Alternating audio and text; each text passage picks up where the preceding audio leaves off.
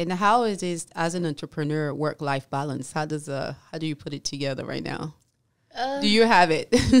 I mean, it's it's difficult, um, but I was a full time, um, you know, customs and border protection agent for eight years, and went to law school part time, and had a one year like had my child in my first year of law school, and I still graduated um, magna cum laude, and still obtained a lot of awards um, as a law student. So it's just a matter of just getting the job done. Just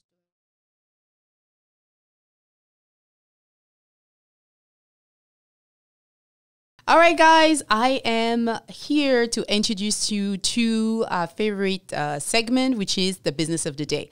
I want to introduce you to uh, Adelia. She owns a, f- a f- law firm. She's one of the partner, and the law firm is Miranda Carreon Jacobo firm.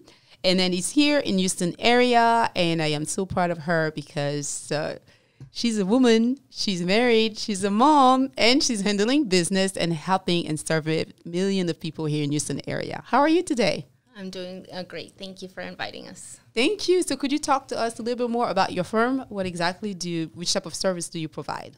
Course. So our law firm uh, was established in 2020. Um, and we handle all types of cases. We uh, essentially focus a lot on real estate transactions or cases that involve real estate disputes um, as well as probate law. We um, do a lot of probate processes, draft wills, and um, uh, business law. We represent several small business owners in ensuring that their LLCs or small corporations are following all the guidelines of the Texas Business Organization Code um, because they're very busy growing their business. So they always need our help to ensure that the contracts are accurate and all their filings are accurate. This is great. So you help um, anybody uh, in real estate, right?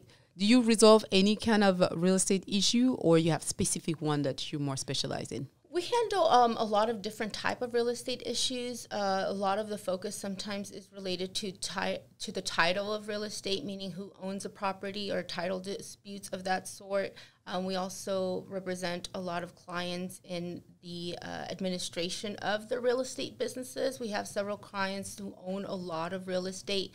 Um, they rent it out and eventually uh, because of the nature of the business, they end up in disputes with either the tenants, their brokers, um, or their management companies um, related to their, their properties. And so we deal with a lot of that as well. Okay. What made you decide to start the company?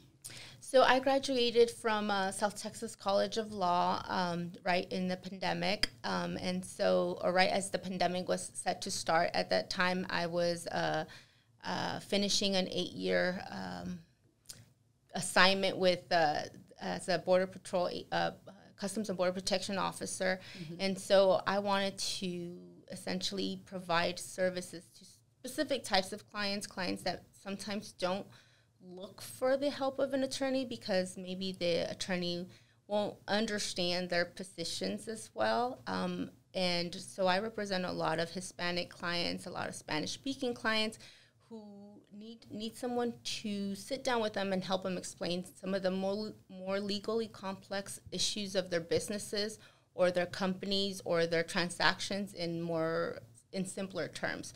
And so that made me start the company at that time and go from there. What do you like the most about being a lawyer? Um, the law. I, I think the law is really interesting. I always like when a client comes in and, and gives me, you know, this this long story about what they're dealing with, what's going on and everything. I always like to tailor it down or or um, figure out exactly what are the legal issues in this situation and then address it that way. And even though a lot of times we deal with a lot of the other aspects in our cases, whether it's the management of our clients or the dealing with opposing counsel or, or opposing parties, it all comes down to the law and what, what you can how you can fit your facts to to um, specific laws and, and in order to get the correct results for your client. This is great. So you started right in the middle of the pandemic. That's correct. So what are the most challenges you encounter since you opened up your firm? The biggest challenge was the fact that while I was in law school, I was a full time Customs and Border Protection officer. So I didn't take part in any um, internships. Um, I didn't work at any law firm. So before I began my law firm, I had never worked at a law firm. Um, so that was a challenge, not being able to have a, a, an attorney that has been practicing 10, 15 years or 20, 30 to tell you how to do things. But then I also looked at it as a benefit because essentially all the cases that we had handled, we I had to figure out exactly what needed to be done. And the only way to do that was going back to what the code said and what the law says as to this is how to handle these types of situations. So it was beneficial in the end. So you may not have the lawyer next to you, but you did you did have a lot of work experience, you know, because you you you have a real estate license, so right. right in there, and then you you uh, you see businesses in general, right? Correct. So I, I had my I obtained my real estate license in 2006 when I first moved to Texas, and so I've I've maintained it this whole time, um, and it, and that's part of the reason why when I began my firm. I started with a focus on real estate, and it sort of has branched out from there as these three areas that I mentioned. They really mesh together, or they, mm-hmm. they there's not one case whether it's a real estate case that doesn't have some components of the business law, LLCs, um, and so forth. There isn't a probate case that doesn't have some real estate issue in, in, embedded in it.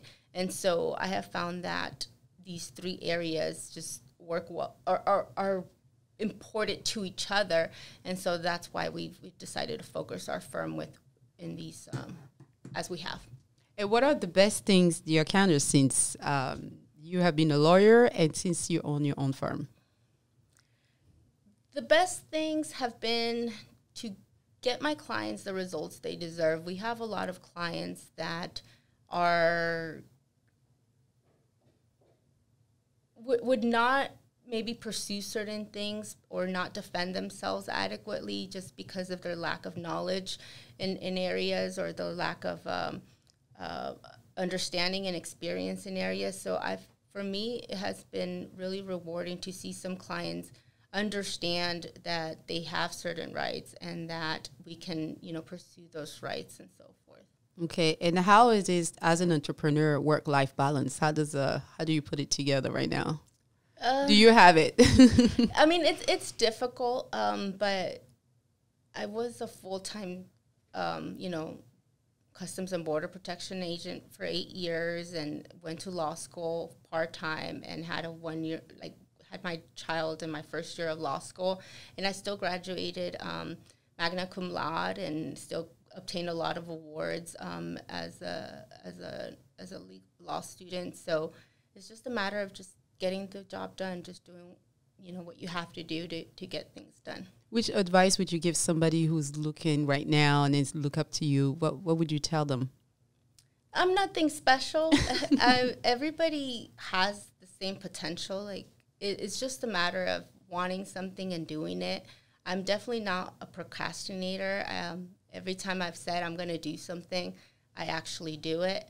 Um, but that's it. It's there's nothing there's no spe- there's nothing special. It's just if you're gonna if you want something and you want it bad enough, just you make it. it happen. Just make it happen. Nobody else is gonna make it happen for you. You have to make it happen yourself. This is very admirable because you say you are working full time. Mm-hmm. You went to law school, you have a baby, and you still manage to do everything else. You are very special.